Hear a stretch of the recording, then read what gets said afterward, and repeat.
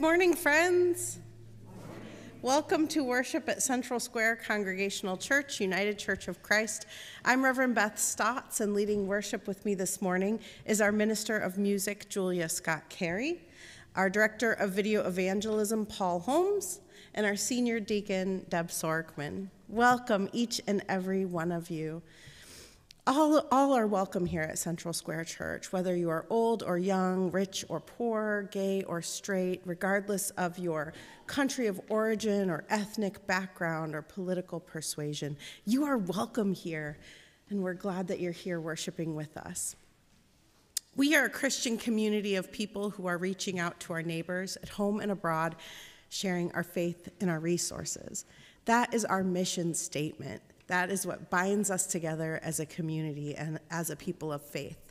Today is Heifer Sunday, and um, our kids downstairs are going to be fundraising for um, animals, and they'll tell you about it a little bit later. Um, but I'm just super excited all of you are here to join in for Heifer Sunday. We begin our worship each week with announcements. If you have an announcement to share, please come forward at this time.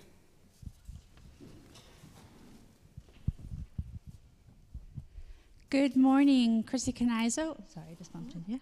Christy Canizo for Heifer Sunday. Um, our children have been working super hard the last month, and um, as Reverend Beth said, they are downstairs working um, to set up and to put prices on all of their items. Um, and in case anyone didn't bring those um, dollar bills that I had mentioned for the last month, um, Diane Shively um, has been so gracious to set up um, the QR codes for PayPal and Venmo. So, yay! We'll take any cash or credit or um, payment. So, um, we are super excited. The children have very, very hefty goals. Um, one group is trying to raise $860. Um, and the other group is trying to raise $130. So we'll greatly appreciate any uh, um, your support. So thank you. And Christy is going, going to talk about um, heifer. So I just want to explain a little bit why heifer is important. So heifer provides families in need with um, long-term funding so they can deal with issues such as hunger and poverty. And it also allows us to create a bunch of fun things. So come check out what we've been working on. Thank you. Thank you, Christy. Are there any other announcements? I have a big one. Oh, Lent starts on Wednesday, Wednesday. Ash Wednesday, and I read recently that um, you can't spell Valentine's without Lent. V A L E N T I N E. Valentine's Wednesday. Lent. Oh, come on, people. That's very cool. So anyway, Lent starts Wednesday, Valentine's Day. Um, 7 p.m. is our worship service. We will have imposition of ashes on foreheads or hands, whichever you're comfortable with. So I hope to see you uh, Wednesday at 7. Thank you. All right, I'd like to invite you to our ritual of fellowship. If you're here in person, there are pads at the end of the pew aisle. If you could please sign your name so we know that you're here in person, in person worshiping with us, and we can greet each other by name after worship. Also, if you're not getting our Monday email that has everything about the life of, of the church, then make a note in there. Or if there's anything you need from the office or Reverend Beth or a deacon, you can also make a note on that pad. And if you're worshiping with us remotely, please give us a thumbs up or a like or a good morning so we know that you're here worshiping with us as well. And you can send an email to the church office if there's anything that you need. All right, let us prepare our hearts and minds for worship with our introit.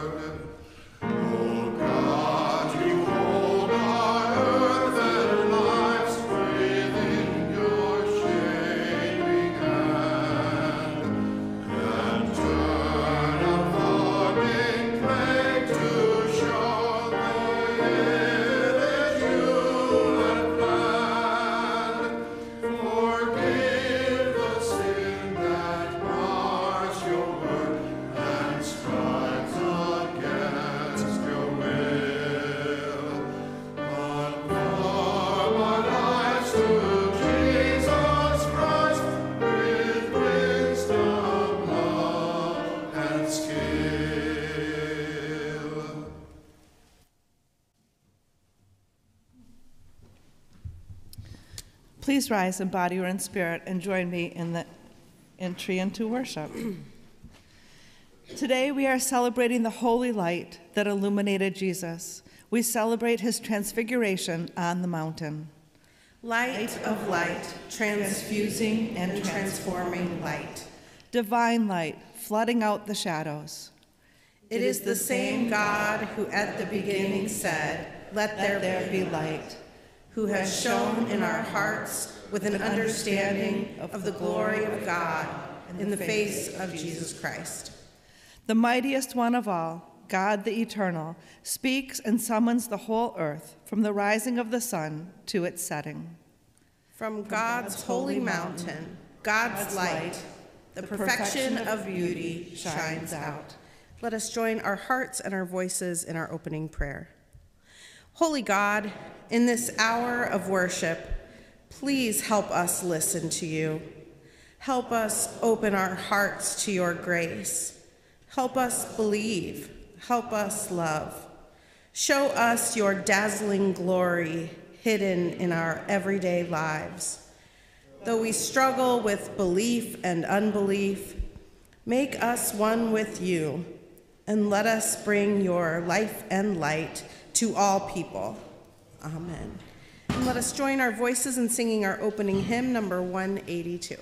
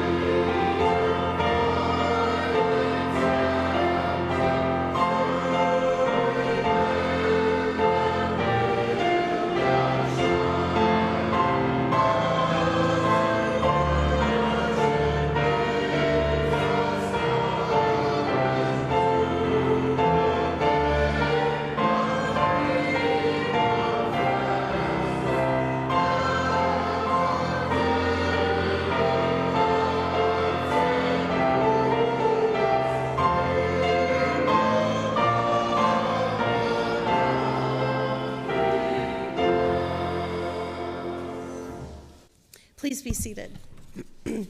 and join me in our prayer for transformation and new life on this Transfiguration Sunday.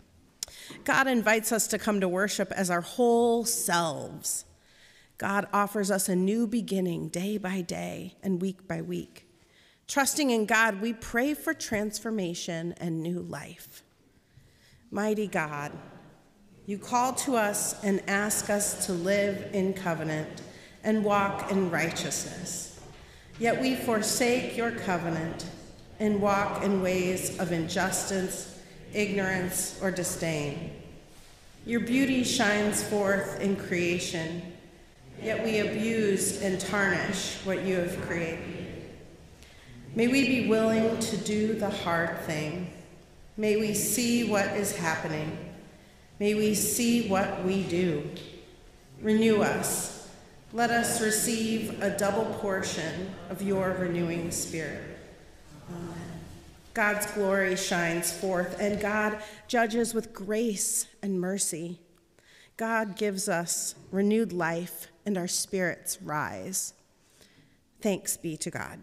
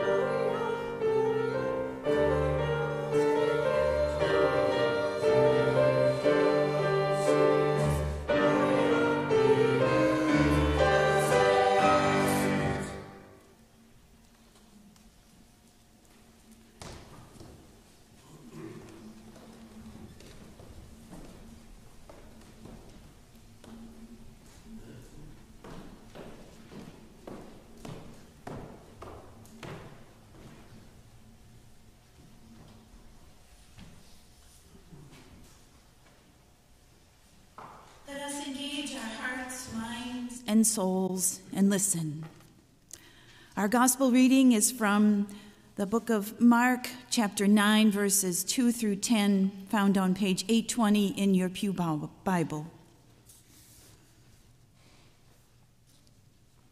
Six days later, Jesus took with him Peter and James and John and led them up a high mountain apart by themselves. And he was transfigured before them, and his clothes became dazzling white, such as no one on earth could bleach them. And there appeared to them Elijah with Moses, who were talking with Jesus.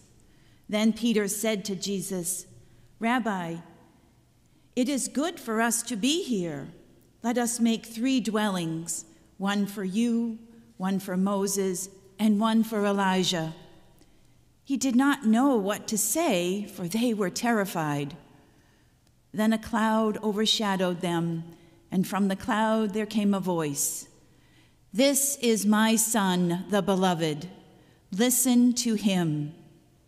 Suddenly, when they looked around, they saw no one with them anymore, but only Jesus. As they were coming down the mountain, he ordered them to tell no one about what they had seen until after the Son of Man had risen from the dead.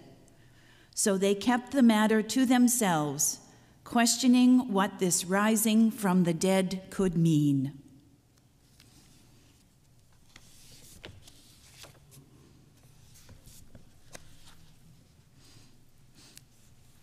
Our epistle reading is the uh, Corinthians, second book of Corinthians, chapter 4, verses 3 through 6, found on page 939. Therefore, since, is am I right? No, sorry.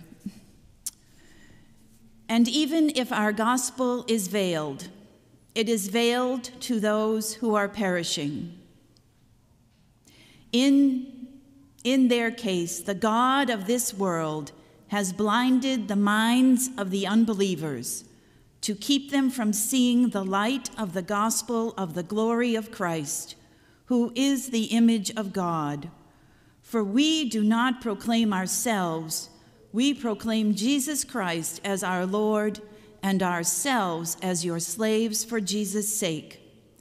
For it is the God who said, let light shine out of darkness, who has shone in our hearts to give the light of the knowledge of the glory of God in the face of Jesus Christ.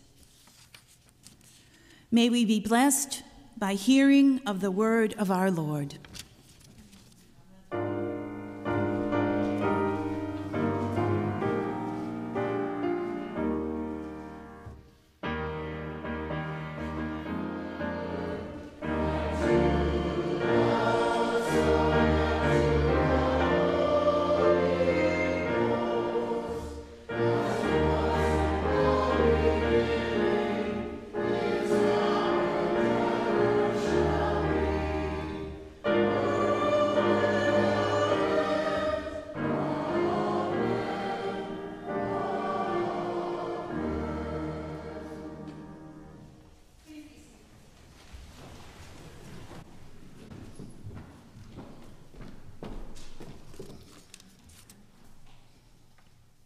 Uh, 13 years ago this week, I visited Yosemite National Park.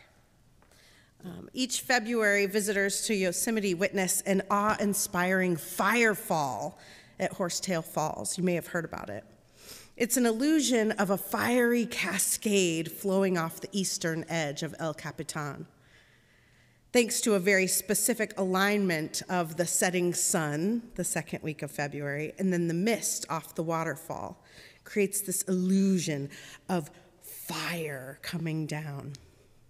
So during mid to late February each year at Horsetail Falls, um, those falls only flow during the winter and spring months during the snowmelt. Um, they transform into this glowing stream of lava just for a few minutes, just for a few minutes, um, right before sunset. But all the conditions, of course, have to be right.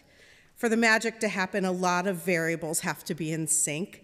There's got to be enough water flow off the fall, clear skies, and just the right temperatures to prevent the waterfall from freezing. Um, again, prime viewing, the prime viewing window for the fire falls is from mid February to the end of the month, with the best light occurring 5 to 15 minutes before the sun dips below the horizon. And it, again, it only lasts for just a few minutes, but it is dazzling and spectacular. 13 years ago, when Jay and I went to Yosemite, we were overcome with emotion upon viewing the firefall.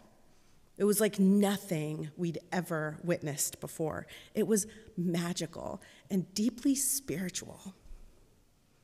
A few years later, we were witness to another incredible natural phenomenon. In August of 2017, we traveled down to my mom's house in North Carolina to experience the full eclipse of the sun. And earlier this week, we booked our travel for the next solar eclipse viewable in the US, which will actually be on my husband's birthday, April 8th this year. But sadly, the next eclipse won't be visible in the US um, until 2044. So I'm set on making sure that we are in a prime location to witness this awesome phenomenon as well. The feeling that these experiences evoke in me is so deeply spiritual that sometimes I just can't find words for how important they have been to my spiritual journey. Visiting Yosemite, seeing the fire fall, washing my hands and my face and my feet in the Merced River experiencing the sun hiding behind the moon in daylight, with crescents dancing on the ground during the eclipse. These are experiences, moments in time where it felt like the veil that separates the tangible, rational world from the esoteric, deeply spiritual world. That veil is lifted. The Celtic tradition calls these moments, these places, thin places. Thin places describe the space between our world and the great mystery. That space between heaven and earth, between the divine and the human, between matter and spirit, between the eternal and the temporal. In the thin place is where the duality disappears, and we stand in union and in wholeness, and ultimately holiness as well. And while each of us may have experienced a thin place in our lives, the difficulty for us is that we often limit our world and our experiences to the five senses to the things which we understand cerebrally, the things that are explainable, logical. The five senses themselves, in some way, become the veil that separates us from that other world.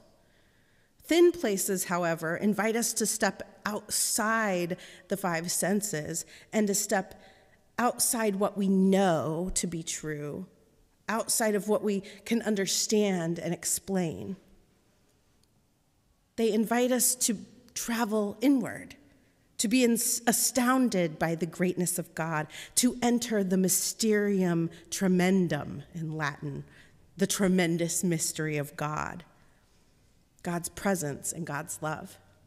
In the thin places, we know ourselves to be eclipsed by the holy. Thin places transform our lives. The veil parts, and we know ourselves to be different we and our whole world stand in a different light. There is a clear before and after upon visiting a thin place. For me, there's who I was before Yosemite and who I am after. And my guess is you have something in your life that marks a clear before and after as well. Perhaps it was the birth of a child, holding a child, or maybe it was an illness you recovered from. Or maybe it was your own experience of stepping foot in a holy place. Perhaps it was visiting the home of your ancestors.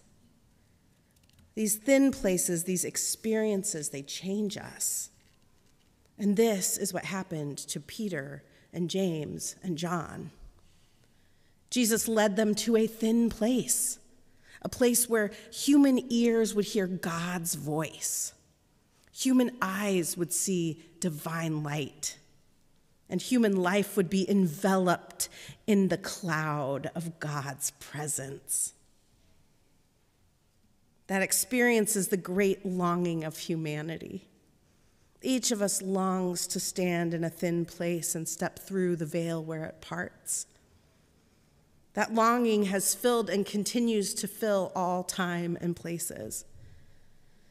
It is what has encouraged pilgrims to journey to the holy places. It called our spiritual ancestors to the desert and to monasteries. And it's why we persevere in prayer and study. And it is, at least in part, hopefully, the reason we show up to church week after week. We want to come face to face with what is really real. And that is exactly what happened to Peter and James and John on that mountain. They came face to face with the real, with the holy. It was not simply an outer experience, one that could be experienced with human senses. No, it was an experience of inner transformation, one that left them silent, awestruck. And instead of talking about what they saw and heard, they became transformed themselves. They saw the light of Christ, and they saw that it was in them too. The veil had parted, and they beheld the beauty of their own creation in the image and likeness of God. But this isn't simply a story about Peter and James and John. It's a descriptive story of Christ's encounter with all of humanity. We too are called to those thin places. We too are invited to step through into the veil of these transformational experiences. Transfiguration is all around us.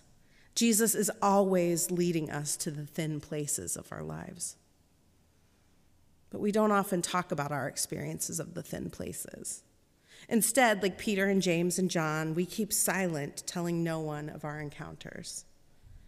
And it's not because those encounters aren't real, it's because they're too real.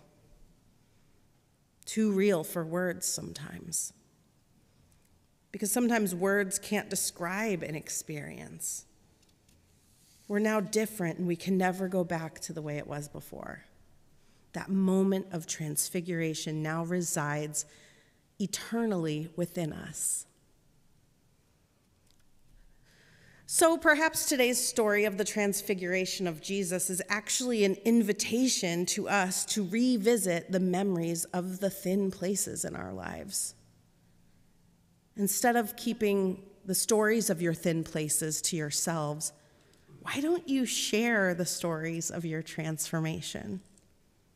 When was the last time you told someone about how your life had changed? Friends, share. Perhaps in telling your story, you will find in others the kindred spirit of God. Perhaps in sharing, you will create a thin place yourself. And what a gift that would be. May it be so. Amen.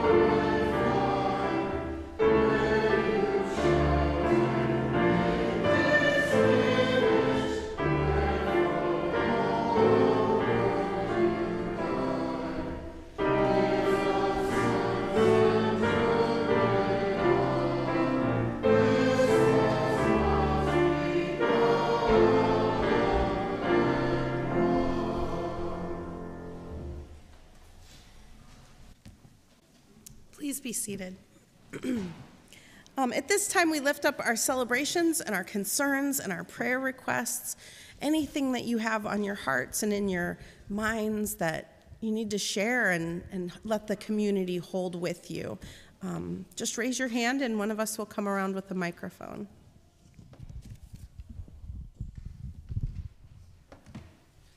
Also, please note the mustard colored paper in your bulletin that has a list of all of our prayer request people in our community who have requested prayers are on that. Please take it with you this week.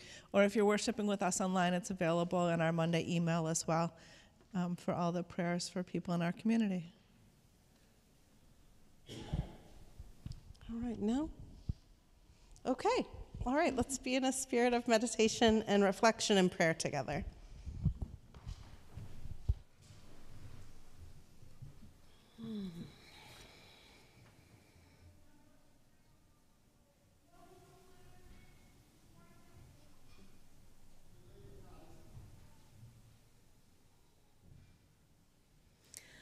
Holy God, we enter into your presence and experience the joy of being together as a community of faith. This day, we ask you to calm our troubled minds, our grieving hearts, and restore us with your forgiveness and compassion. Let us, if we can, begin to enter into the experience both of Jesus and the three disciples who became eyewitnesses to the Transfiguration. Let us climb the mountain with them. Let us leave behind our everyday concerns just for a little while. And let all of our senses focus on Jesus alone. Let nothing block us from the holy presence let anything that would distract us from the light of this revelation fall away from us. Show us your glory, God.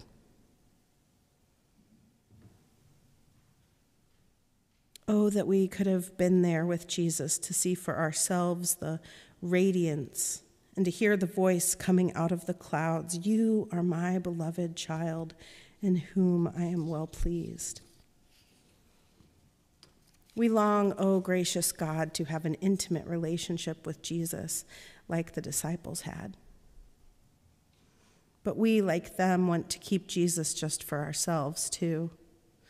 And also, like them, we don't want to return, to go back down to face rejection, humiliation, and suffering in the day to day world.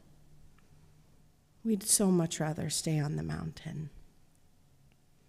We like our comforts, our successes, and our own achievements. We hold on to pride and self centeredness. We have way too much fear. We fear of being changed on the inside, giving up old ways of thinking and acting. We fear what life would be like if we became a new thing. And so we close ourselves off from the glory of your love and from the struggle and the joy of your ministry. Oh God, as you broke through in the world of your early disciples, so break through into us. As a community of faith, show us where your glory is to be found, not only on the mountaintop, but among your people. God, remind us of your presence when we work with the poor, the hurting, the imprisoned, the oppressed, the brokenhearted. Help us to see you as we reach out to all those who suffer in this world. In all of this, may we experience your glory in our own transfiguration. Show us, O oh God, how to live our daily lives that we may glorify you in the common tasks of life.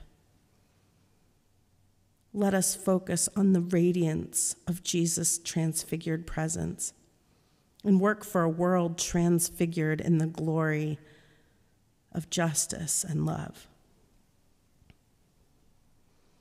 All of this we pray for in the name of Jesus, saying together the prayer he taught us Our Father, who art in heaven, hallowed be thy name. Thy kingdom come, thy will be done, on earth as it is in heaven. Give us this day our daily bread, and forgive us our sins, as we forgive those who've sinned against us. Lead us not into temptation, but deliver us from evil. For thine is the kingdom, and the power, and the glory forever.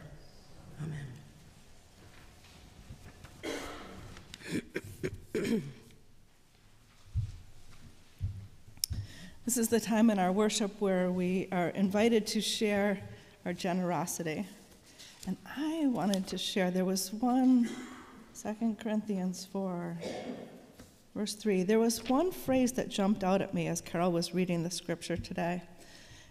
And it was, For we do not proclaim ourselves, we proclaim Jesus Christ as Lord. And Reverend Beth in her sermon talked about sharing our experiences. And in that way, we're sharing how the Holy Spirit lives in us, and we're also proclaiming and leading people to Jesus Christ and how the Holy Spirit can live in them as well. And as well as sharing, we are called to um, not only share our experiences, but share our time, our talent, and our treasure. And this is part in our worship where we recognize what time, talent, and treasure we have, as well as our experiences, to give back to the community. And in your bulletin, if you want to support our ministries financially, we have a Venmo cord. We also have the offering plate that's in the back of the sanctuary after worship. And that our financial contributions are the way that we support all the ministries of our church. They are all supported solely by our financial contributions. May you be blessed in your sharing. Thank you.